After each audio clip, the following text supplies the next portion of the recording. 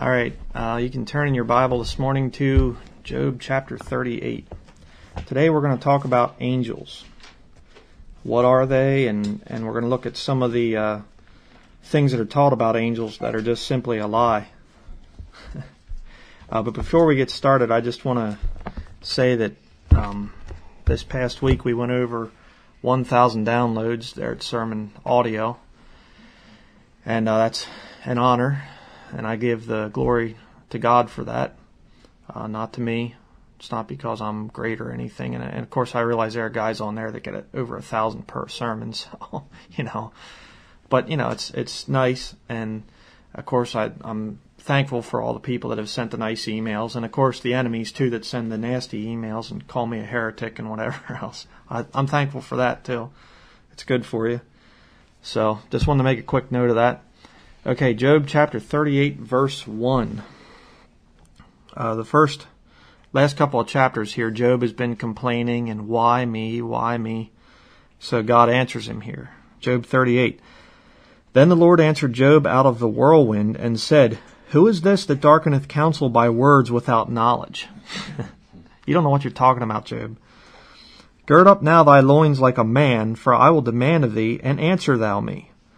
Where wast thou when I laid the foundations of the earth? Declare if thou hast understanding. Who hath laid the measures thereof, if thou knowest? Or who hath stretched the line upon it? Whereupon are the foundations thereof fastened? Or who laid the cornerstone thereof? Now look at verse 7.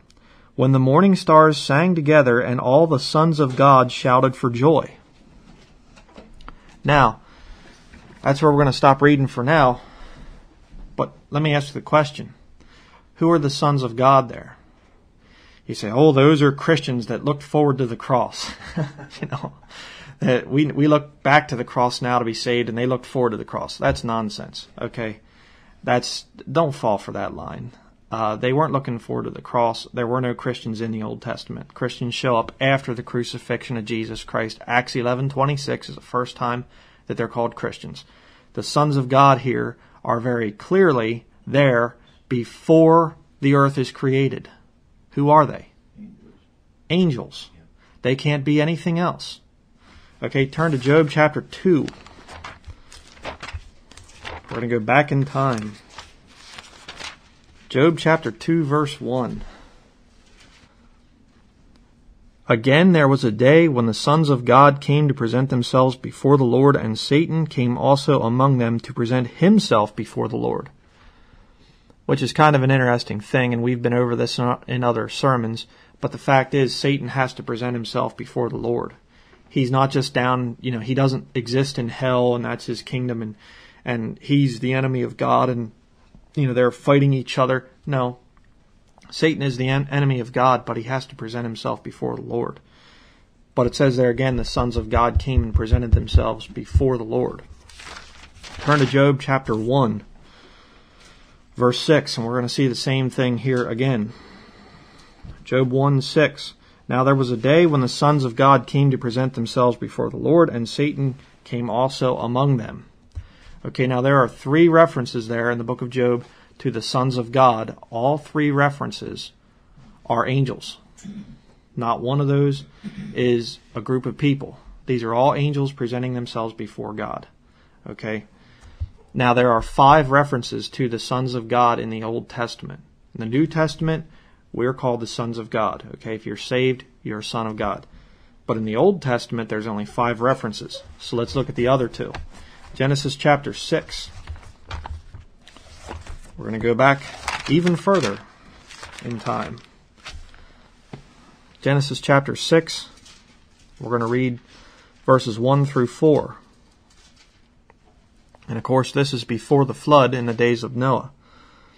Genesis 6, verse 1. And it came to pass when men began to multiply on the face of the earth, and daughters were born unto them, that the sons of God saw the daughters of men that they were fair, and they took them wives of all which they chose. And the Lord said, My spirit shall not always strive with man, for that he also is flesh, yet his days shall be an hundred and twenty years. There were giants in the earth in those days, and also after that, when the sons of God came in unto the daughters of men, and they bare children to them, the same became, became mighty men which were of old, men of renown. Now, one of the ways that people try to interpret this is they say the sons of God there are the sons of Seth. That's a lie. Okay? Why? Well, because I showed you at the beginning here, the sons of God are clearly angels. And why is it, if these are just men, if these sons of God were just men, why does it make a specific point there that they were creating, that their children were giants? Strange offspring. Okay? Men, normal men and women don't have strange offspring today. They're not making any giants. And we're going to look at some of these giants, by the way, real quick. These are not people. Okay, these are these are angels and women. And of course you have all these ancient this ancient mythology with Hercules and all these other stories where these ancient people had these stories about gods coming in and having relations with women and creating these outstanding offspring. Now, did they just make that up? Or were they repeating stories that were told down through the centuries, you know, and it could have even been going on then. I'm getting ahead of myself here. But the point is, these are angels. Okay? Very clearly that these are angels. And that's going to be important later. That's why I'm making a point about that. Okay, and, and people say, but yeah, but uh, angels can't marry. Turn to Matthew chapter 22, verse 30. We know that it can't be angels because angels, you know, they, they can't get married. Angel or uh, Matthew chapter 22 verse 30. This is another one that you'll hear quoted to try and disprove the angels of Genesis chapter 6 there. Matthew 22 verse 30. For in the resurrection they neither marry nor are given in marriage, but are as the angels of God in heaven. So you see, angels can't get married because they're uh, they're sexless. Okay, they're they're neither male nor female. They're just these sexless winged things up there that you know. No, that's not true. Okay, these the sons of God in the Old Testament, the are the angels, and in, and it says here about them not marrying, but it says in heaven. It doesn't say about them coming down to the earth, and we're going to see here later about that they left their uh, first estate, they left their habitation to come down here. Okay, that's why they were fallen. Actually, we're going to see about that right now. Turn to Jude chapter 1.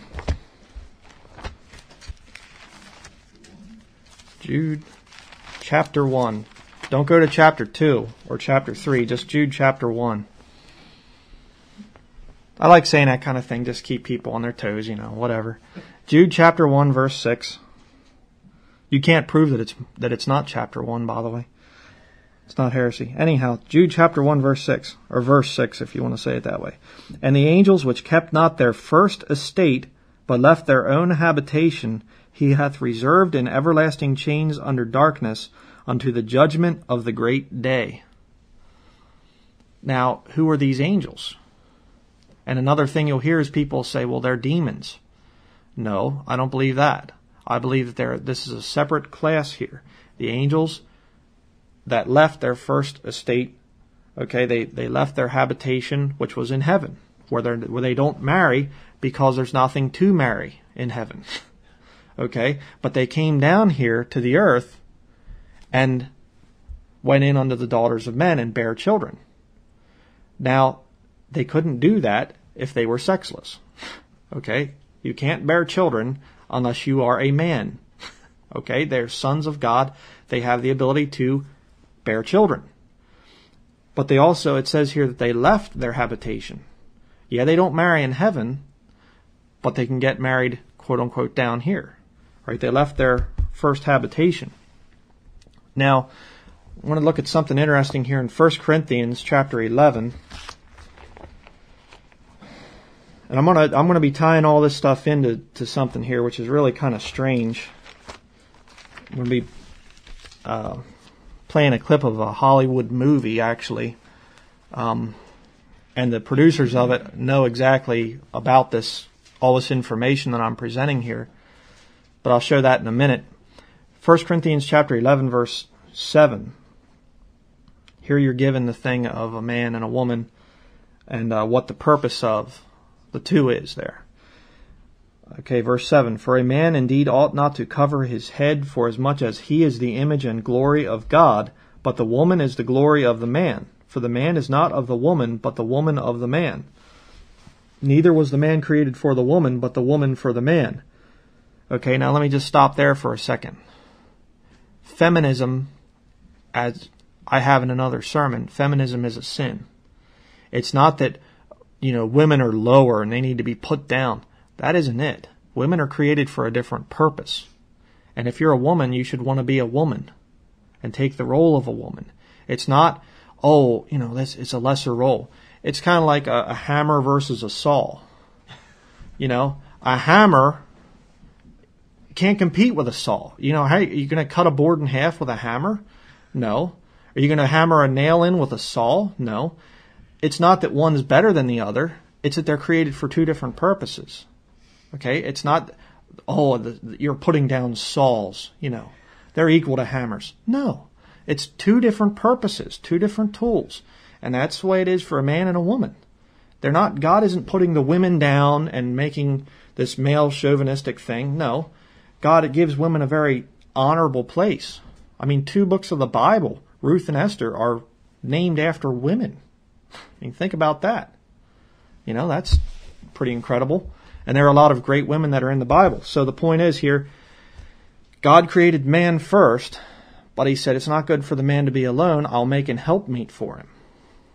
The man was not created for the woman. The woman was created for the man. And that's not a demeaning role. She's a helpmeet to him. Okay, so let's continue on here. Look at verse 10. For this cause, what's the cause there? The woman's created for the man to be a helpmeet. For this cause ought the woman to have power on her head because of the angels. There's something about a woman that gets into feminism that says, I don't need a man. I will not have a man rule me. I won't have my father tell me what to do. I won't have a husband tell me what to do. I won't have any man tell me what to do. And at that point, she is open game for these angels. Now, if it's going on right now, this thing of angels coming in under the daughters of men, if it's going on, it's not really all that well known. And it could be, I don't know, uh, going on, but it's not really out in the open. But we're going to see as the study progresses that this thing is going to come back. Okay, it was going on in the, in the days of Noah. It's going to come back. Okay, now turn to 1 Timothy chapter 2, verse 5, and I'm going to show you kind of a verse here. Uh, you know, it says that a, that a man or a woman is to be under the authority of a man there. That's the covering, by the way. It's not a, a physical covering. The power mm-hmm. on her head is not some kind of a covering on her head. You know, we have a lot of different groups here. We have Amish Mennonite charity ministries, and they all have different coverings. you know, which one is the most powerful? you know, well, I wear this little round thing on my head. Well, I wear the full, you know, blanket thing there, you know, looks like a napkin or whatever. Which one's most powerful?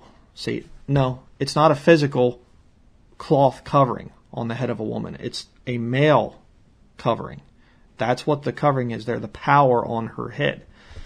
Um, and you say, well, what if you have a woman who her father's dead and she's single and she's in a place where she can't come under the authority of a pastor, we'll say.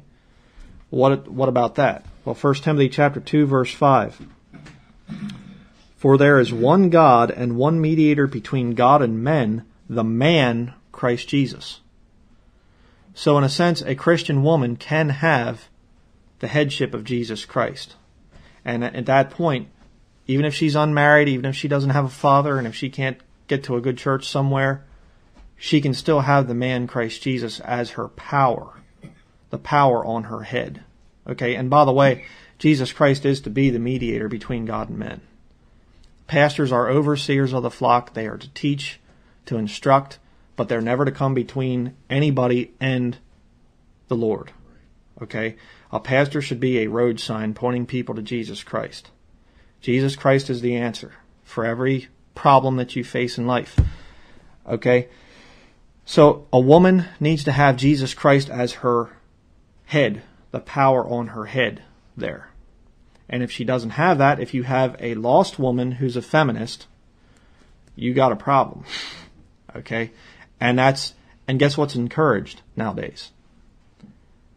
That's the one that's encouraged. And I'm going to show you in just a couple minutes here that that's actually what they use in this movie. But I don't want to get ahead of myself. Now, what what about these giants? There were giants in the earth in those days. Turn turn back to Deuteronomy chapter two.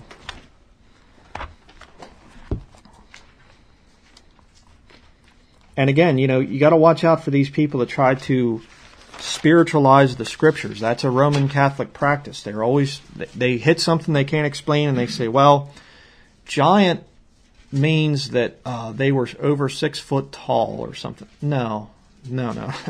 don't don't fall for that. When the Bible says giants, it means giants, and we're going to see about some of these giants here. Uh, Deuteronomy chapter two, verse ten. Says here, the Emims dwelt therein in times past a people great and many and tall as the Anakims, which also were accounted giants as the Anakims, but the Moabites call them Emims. The Horims also dwelt in Seir before time, but the children of Esau, Esau succeeded them when they had destroyed them from before them, and dwelt in their stead as Israel did unto the land of his possession, which the Lord gave unto them. Now, these giants uh, we're going to read in Daniel here in, in, just a couple of minutes here that uh, they don't exactly cleave together all that well, or, or they don't ex- exactly join together. In other words, they're not like this super race of extremely intelligent, extremely coordinated, powerful. I think that they were, I think they were very strong. I think they were very big, these offspring, but the mixture didn't quite match up right and you see these things being killed pretty easily. I mean, they're like incredibly strong and big, and they're carrying huge swords and huge spears, but they were probably very slow and very stupid, you know. And you could probably kill them pretty quickly and pretty easily. You know, they'd probably go to throw their 200 pound spear or something, and you just kind of jump out of the way, okay, you know, and they're dead. Um, little bit of spiritual nuggets there for you. Okay, jump jump over to verse 20 in Deuteronomy chapter 2. That also was accounted a land of giants. Giants dwelt therein in old time, and the Ammonites call them Zamzummims.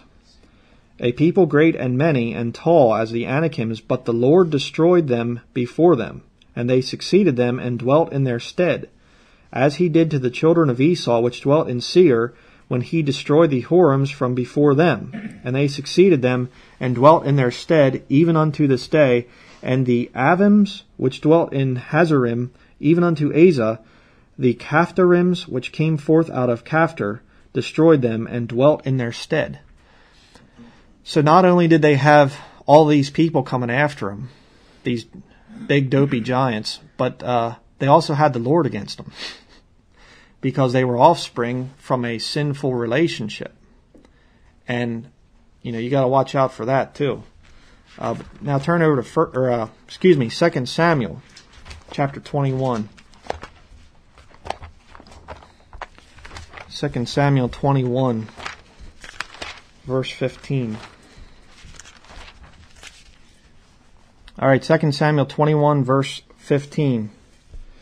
Moreover, the Philistines had yet war with, again with Israel, and David went down and his servants with him and fought against the Philistines, and David waxed faint. And Ish, Ishbi-benob, which was of, of the sons of the giant, the weight of whose spear weighed three hundred shekels of brass in weight, he being girded with a new sword, thought to have slain David. And Abishai the son of Zeruiah succored him, and smote the Philistine, and killed him. Then the men of David swear unto him, saying, Thou shalt go no more out with us to battle, that thou quench not the light of Israel. And it came to pass after this, that there was again a battle with the Philistines at Gob. Then Sibbecai the Hushathite slew Saph, which was of the sons of the giant. And there was again a battle in Gob with the Philistines, where Elhanan the son of Jaare-oregim, a Bethlehemite, slew the brother of Goliath the Gittite, the staff of whose spear was like a weaver's beam. Um, if you use an NIV, your Bible doesn't say that. It says that Elhanan, the son of Jaare-oregim, a Bethlehemite, slew Goliath. They took the brother of out. So the NIV creates a contradiction there. David slew Goliath. Okay, not Elhanan. Verse 20.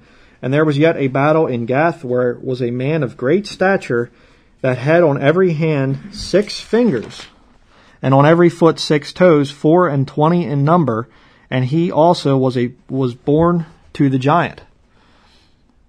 Now, how can you spiritualize that? How can you say that a giant wasn't really a giant? It was just another word for a, you know, this guy had six fingers and six toes. Okay, there was definitely some kind of weird thing going on there.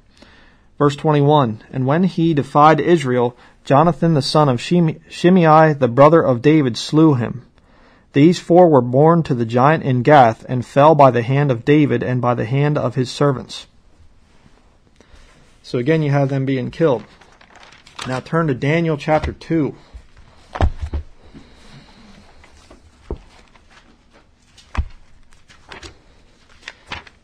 And we're going to see about what's going to happen here in the future. Daniel chapter 2, verse 43.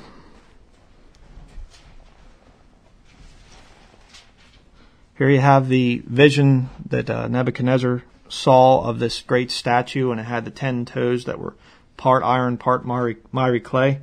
And it says here in verse 43 And whereas thou sawest iron mixed with miry clay, they shall mingle themselves with the seed of men, but they shall not cleave one to another, even as iron is not mixed with my, or even as iron is not mixed with clay. Now, I believe probably that this is a reference to these fallen angels trying to do this thing over again. And I can tell you right now, you don't have to look very far with Hollywood and whatever else to realize that there are people out there that are perverted enough that they'd be all for it. And we're going to actually see that Hollywood is already preparing people for it. I'm going to show you that in just a couple of minutes here. Uh, but Matthew 24 verse 37 says, But as the days of Noah were, so shall also the coming of the Son of Man be. For as in the days that were before the flood, they were eating and drinking, marrying and giving in marriage, until the day that Noah entered into the ark, and knew not until the flood came and took them all away, so shall also the coming of the Son of Man be. And by the way, it says back there in Genesis 6 that there were giants in the earth in those days, and also after that. So it didn't end with the flood. But it was going on really bad before the flood in the days of Noah. And the Bible says it's going to happen again before the days of the coming of the Son of Man. So watch out for that. I'm going to play a clip here really quickly. This movie came out a couple years back. Let me see if I can get it here. It was called City of Angels and it starred uh, Nicolas Cage and uh, Meg Ryan. Okay, and it is about an angel that gives up his habitation in heaven to fornicate with this woman. And they it is it is weird because they they know exactly about these verses. They know what angels have to do. They know what happens. They know all about it. But what they do is they twist it so it's no longer sin, it's no longer abomination. Now it's, oh, what a beautiful love story. And it makes women everywhere, oh, if only an angel would, would love me enough to give up heaven. That's what they do. That's what Hollywood does. Hollywood is Satan's uh, ministry of propaganda. Um, okay, let me play this here. What if angels walked the earth? Here among us, silent and unseen. That doctor in the operating room, she looked right at me. And one of them. No one can see you unless you want them to. Fell in love with one of us. And if I want her to? What do you want to do? To help her.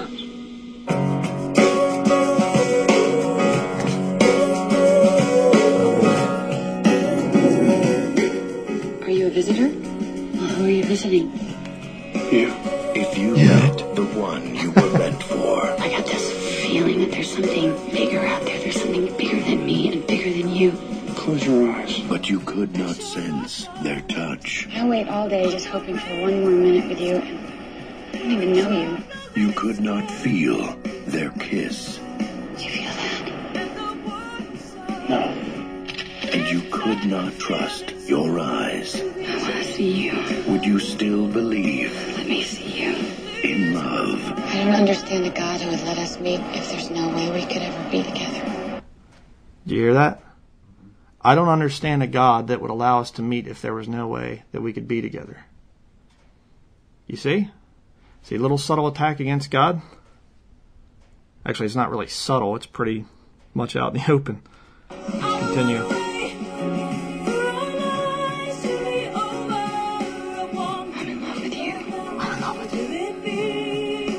Can give up his existence as he knows it and become one of us.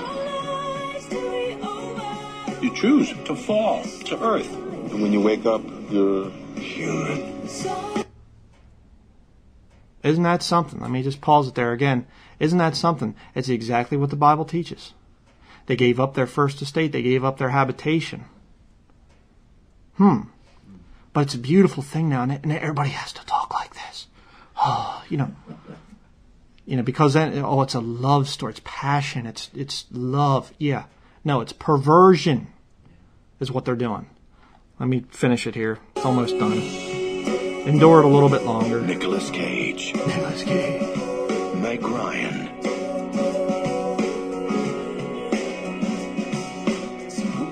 City of Angels.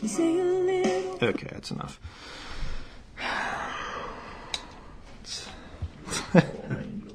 yeah, City of Fallen Angels. Yep, that's right. See, what do they choose? I mean, I didn't see the movie, and I have no intention of watching it. But the fact is, from what I've seen there in the in the the trailer for the movie, and that thing came out years and years and years ago. By the way, it's probably in the 1990s sometime. From what I've seen there, she's a single woman. See? She has no power on her head, no husband, and she's not saved. See? It's just like they know what the Bible says. Don't tell me that that's all just a coincidence that they were able to just come up with that stuff out of thin air. No. They know exactly what happened in the past and what's going to happen in the future, and they're getting pre- people prepared for it. And like I said, all these single women that are out there that have gone after their careers and everything else, the feminists, all of them are going to watch that and say, that's beautiful. It's disgusting, is what it is. Okay, it's wickedness, it's sin. And the fact is, the offspring, as I read earlier, the offspring of those perverted relationships, the Lord destroyed them. God didn't look down and go, oh, that's so beautiful that one of my angels went and fornicated with a woman down there, and now they have this lovely giant, dopey giant, you know, the big green giant or something, you know. And oh, he's he's a just oh, I, I'm so proud of. No, he kill that, destroy him. Yeah, David, go on in there and kill all those guys. You know, the Lord's not for that. But Satan always perverts what God wants, what God does. Okay, so lie number one that I think has been thoroughly debunked now is this thing that angels are sexless. That is a lie, total lie. Okay, and I, and okay, you say, well, my professor taught me that they are. Okay, show me one verse of scripture that proves that angels are sexless. One.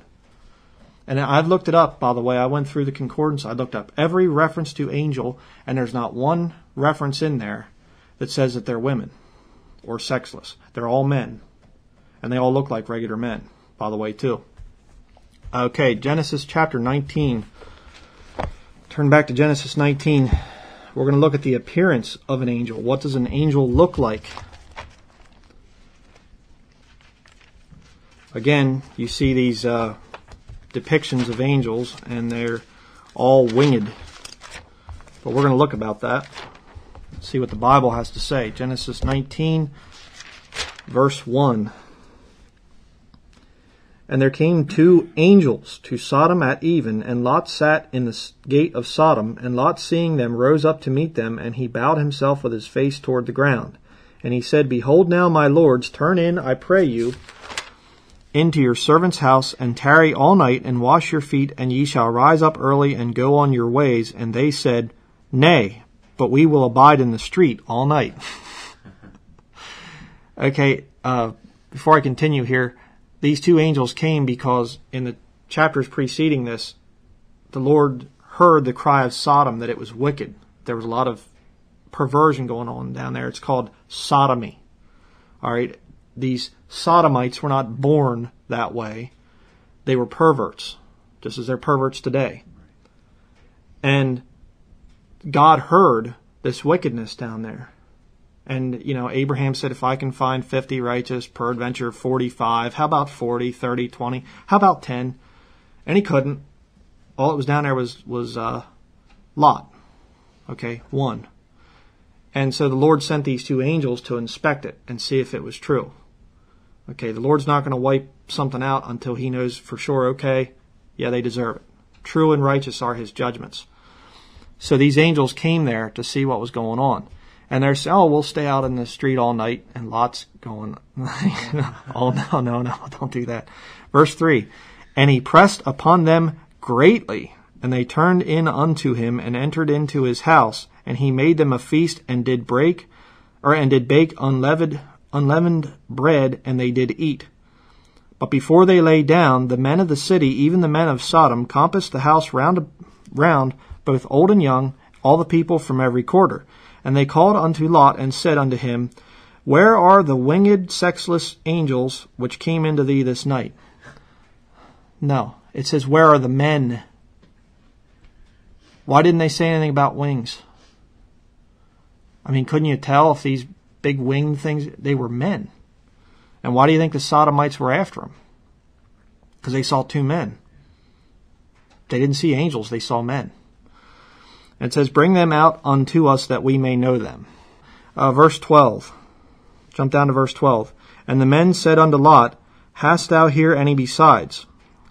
Uh, son in law, and thy sons, and thy daughters, and whatsoever thou hast in the city, bring them out of this place. For we will destroy this place, because the cry of them is waxen great before the face of the Lord, and the Lord hath sent us to destroy it.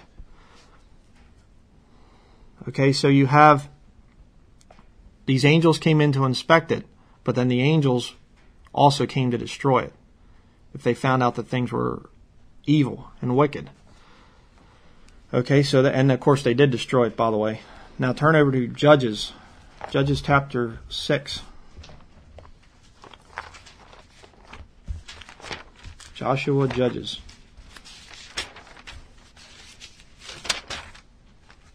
Judges chapter 6, verse 20. And the angel of God said unto him, Take the flesh and the unleavened cakes, and lay them upon this rock, and pour out the broth. And he did so. Then the angel of the Lord put forth the end of the staff that was in his hand, and touched the flesh and the unleavened cakes, and there rose up fire out of the rock, and consumed the flesh and the unleavened cakes. Then the angel of the Lord departed out of his sight. And when Gideon perceived that he was an angel of the Lord, Gideon said, Alas, O Lord God, for because I have seen an angel of the Lord face to face. Why was it that Gideon didn't know that he was an angel until he performed that miraculous thing there? I mean, why? here's a guy talking to him for a while. Why did it take something miraculous like him making fire come out of a rock and consuming the food? You know, couldn't Gideon have just looked at his wings? no, he was a regular man standing there. And he had to prove that he was an angel. Okay? Turn to Judges chapter 13. This is kind of an interesting story here. Uh, this is actually um, Samson's parents and their encounter with an angel. Okay, Judges chapter 13, verse 1. And the children of Israel did evil again in the sight of the Lord, and the Lord delivered them into the hand of the Philistines forty years. And there was a certain man of Zorah of the family of the Danites, whose name was Menorah, or Manoah, I'm sorry, not Menorah, Manoah. And his wife was barren and bare not.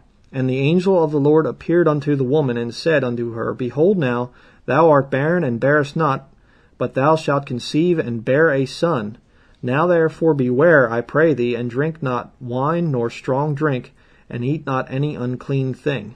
Of course, that's good advice for today, too, for women that are with child. Verse 5 For lo, thou shalt conceive and bear a son, and no razor shall come on his head, for the child shall be a Nazarite unto God from the womb, and he shall begin to deliver Israel out of the hand of the Philistines.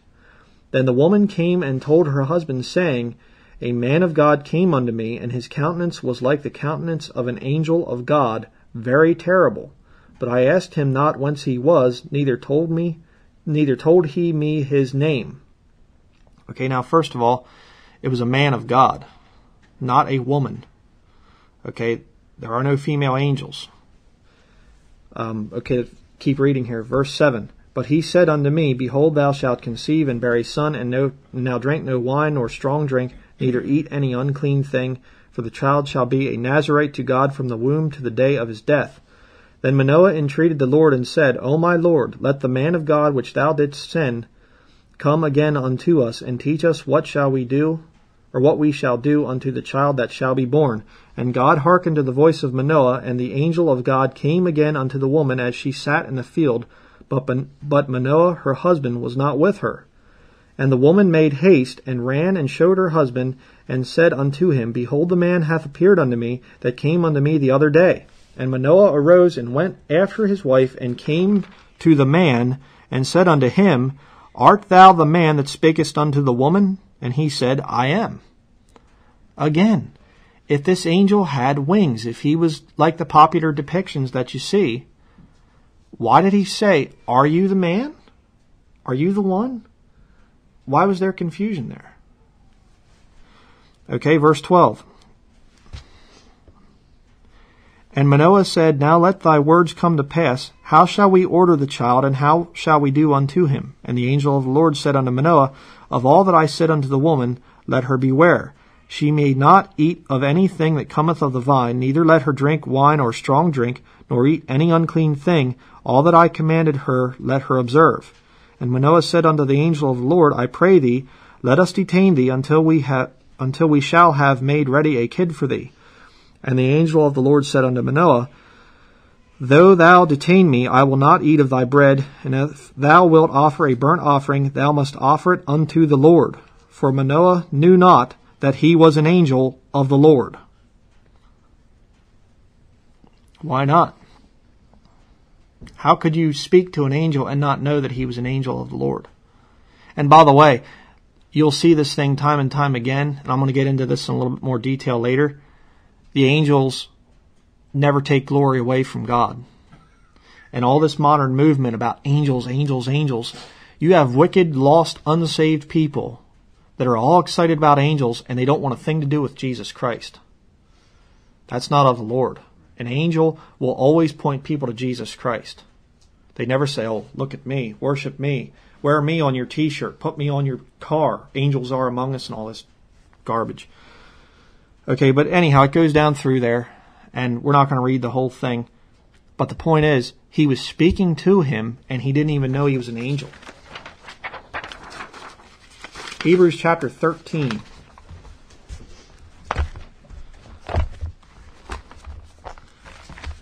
Hebrews chapter 13, verse 1.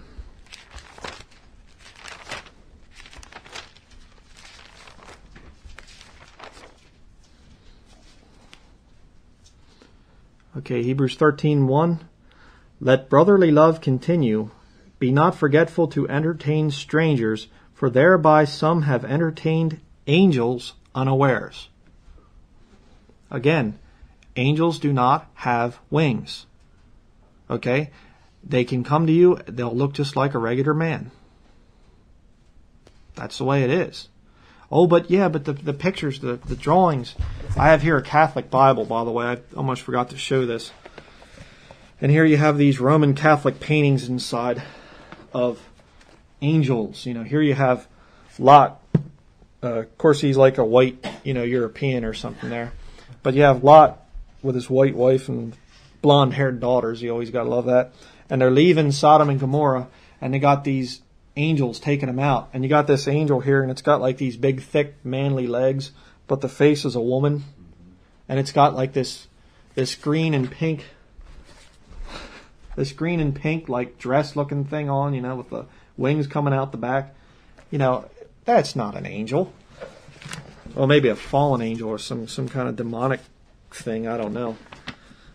But uh, here you have, and again, you have Jesus in the Garden of Gethsemane and this this effeminate looking thing with the feathery wings.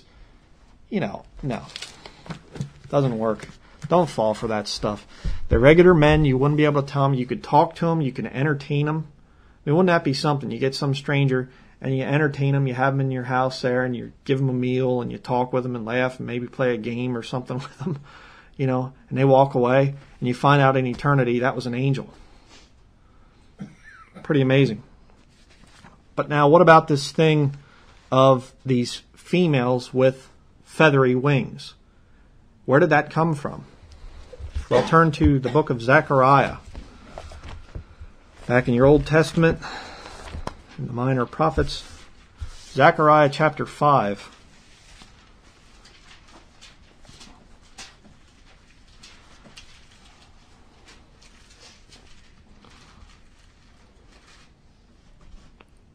Zechariah chapter 5, verse 5. Then the angel that talked with me went forth and said unto me, Lift up now thine eyes and see what is this that goeth forth. And I said, What is it? And he said, Again, you have a man, and he said, This is an ephah that goeth forth. He said, moreover, This is their resemblance through all the earth. And behold, there was lifted up a talent of lead, and this is a woman that sitteth in the midst of the ephah. And he said, This is wickedness. And he cast it into the midst of the ephah, and he cast the weight of lead upon the mouth thereof. Then lifted I up mine eyes, and looked, and behold, there came out two women, and the wind was in their wings, for they had wings like the wings of a stork. And they lifted up the ephah between the earth and the heaven. Then said I to the angel that talked with me, Whither do these bear the ephah? And he said unto me, To build it an house in the land of Shinar, and it shall be established and set there upon her own base. What are these creatures?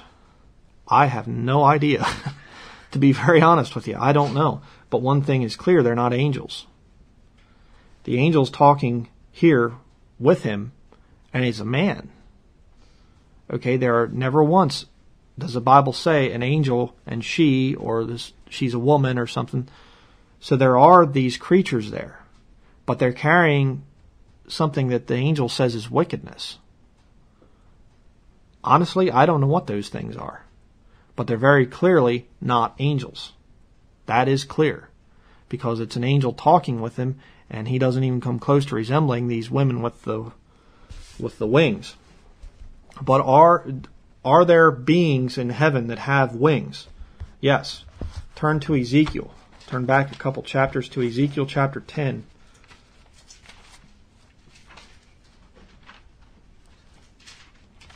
Ezekiel 10 8.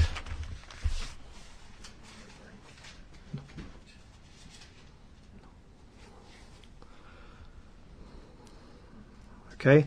Ezekiel 10 8. And there appeared in the cherubims uh, the form of a man's hand under their wings. So you have another group here, the cherubim. Look at verse 14. And every one had four faces. The first face was the face of a cherub, and the second face was the face of a man, and the third the face of a lion, and the fourth the face of an eagle. Okay, now verse 21. Every one had four faces apiece, and every one four wings, and the likeness of the hands of a man, which was under their wings. Okay, so here you have these cherubim. They have four wings. Now there's another group. Turn back to Isaiah chapter 6.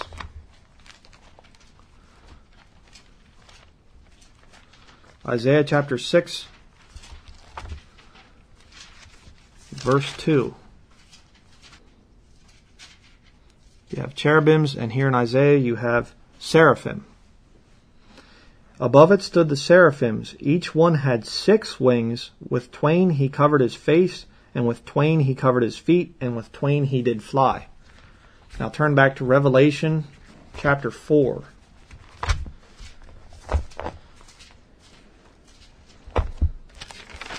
So you have cherubim have four wings, seraphim have six wings. Revelation chapter 4, verse 7. And the first beast was like a lion, and the second beast like a calf, and the third beast had a face as a man, and the fourth beast was like a flying eagle.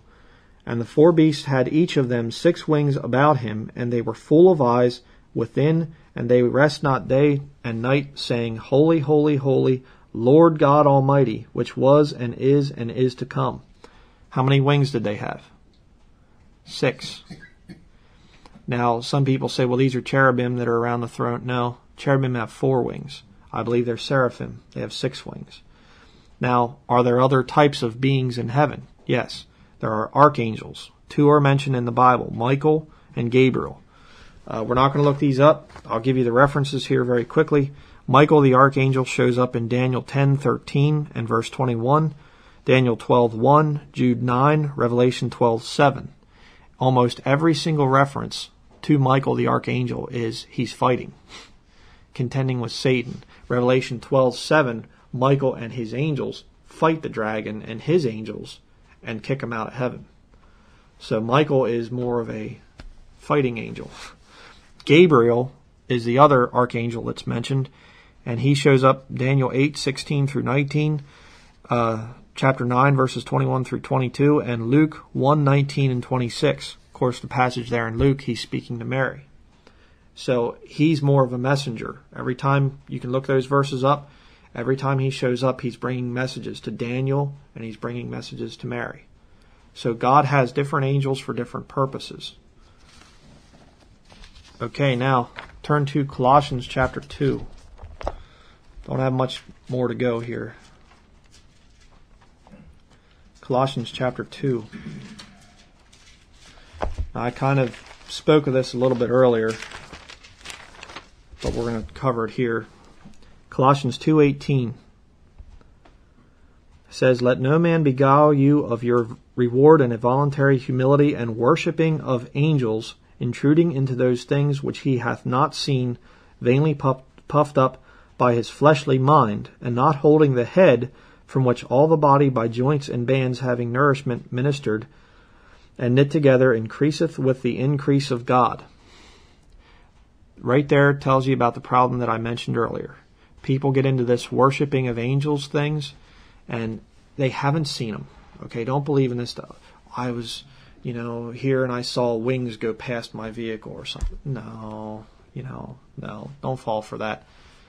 An angel would never do anything to draw glory away from Jesus Christ. And by the way, if you saw wings going past your uh, vehicle, it was probably either an eagle or you know, turkey buzzard, or you know, we saw that angels don't have wings. Okay, so, but the point is, all these people that are into this worshiping of angels thing, all the TV shows and all the movies that are coming out giving all the glory to angels, and these angels are doing great things and touched by an angel and all this. It's all taking glory away from Jesus Christ. And He's the head. And when they worship angels, they don't hold the head.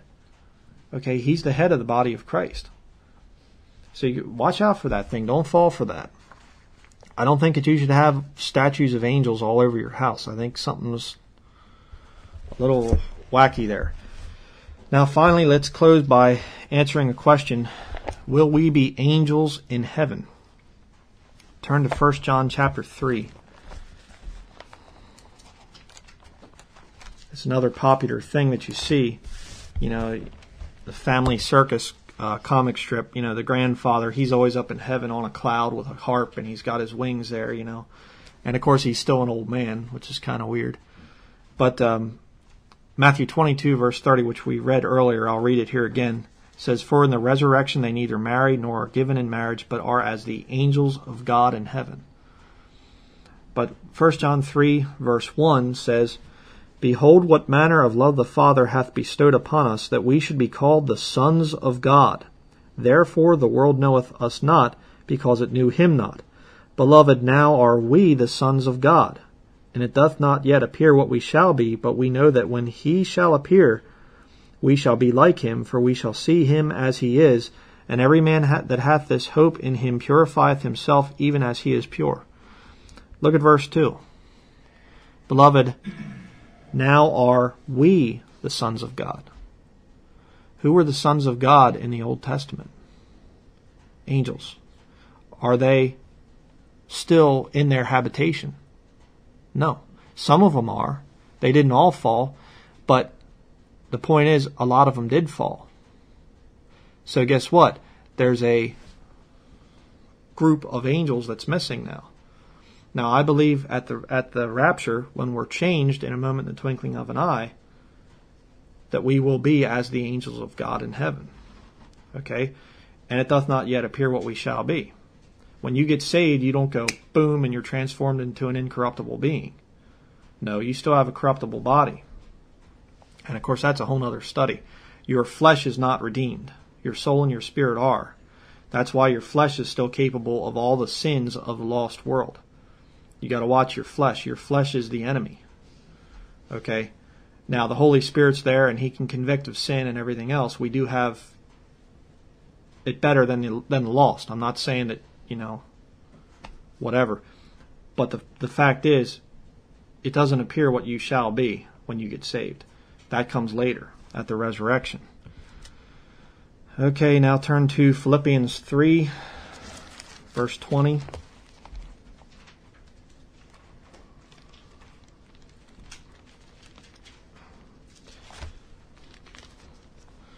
Philippians 3:20 says, "For our conversation is in heaven, from whence also we look for the Savior, the Lord Jesus Christ, who shall, who shall change our vile body that it may be fashioned like unto his glorious body, according to the working whereby he is able even to subdue all things unto himself. We truly will be like Christ someday. 1 Corinthians chapter 6.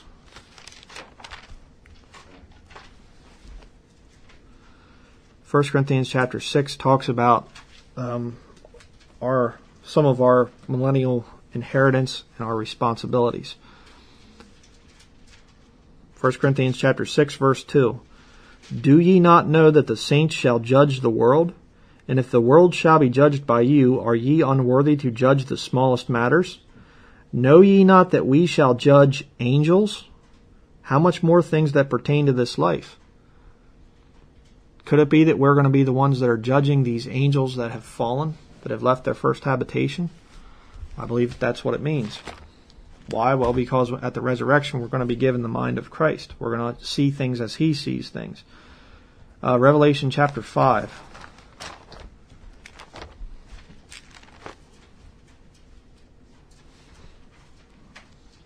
Revelation chapter 5, verse 9. Here you have John in heaven before the time of Jacob's trouble begins, before the great tribulation. It says here, verse 9, And they sung a new song, saying, Thou art worthy to take the book and to open the seals thereof, for thou wast slain and hast redeemed us to God by thy blood out of every kindred and tongue and people and nation. Okay, it's talking about the 24 elders there. And hast made us unto our God kings and priests, and we shall reign on the earth. Now look at verse 11. And I beheld and I heard the voice of many angels round about the throne and the beasts and the elders, and the number of them was 10,000 times 10,000 and thousands of thousands. Uh, saying with a loud voice, Worthy is the Lamb that was slain to receive power and riches and wisdom and strength and honor and glory and blessing. Everybody in heaven is going to be is going to be praising Jesus Christ. Um, angels aren't standing up there trying to get glory for themselves. But who are the angels there? The many angels. I think that they're probably at least partly Christian. Uh, the Christians that are changed. Now turn to Revelation 19. We got two more places to turn to and then we're done. Revelation 19, verse 9. Here you have chapter 19 is about the marriage supper of the Lamb. And it says here, verse 9, And he saith unto me, Right, blessed are they which are called unto the marriage supper of the Lamb. And he saith unto me, These are the true sayings of God. Now look at verse 10. And I fell at his feet to worship him. And he said unto me, See thou do it not. I am thy fellow servant, and of thy brethren that have the testimony of Jesus. Worship God, for the testimony of, of Jesus is the spirit of prophecy. Now, if that's an eternal angel that was around back in the Old Testament, one of the original sons of God, how could he have the testimony of Jesus? And how could he say he's of thy brethren? But who is this that's talking with him?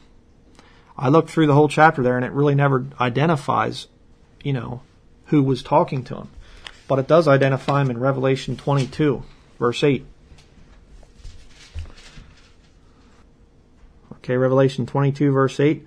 And I, John, saw these things and heard them, and when I had heard and seen, I fell down to worship before the feet of the angel which shewed me these things.